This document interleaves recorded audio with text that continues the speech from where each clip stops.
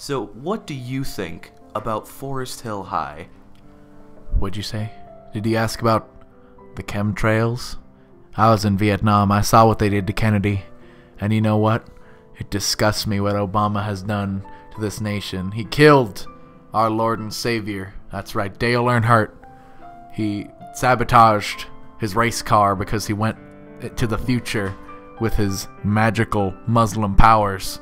And he sabotaged Dale Earnhardt's race car so it could only turn right. And he turned right into a wall and died. And then Obama came to the future where he would win the presidential election because Dale Earnhardt was dead.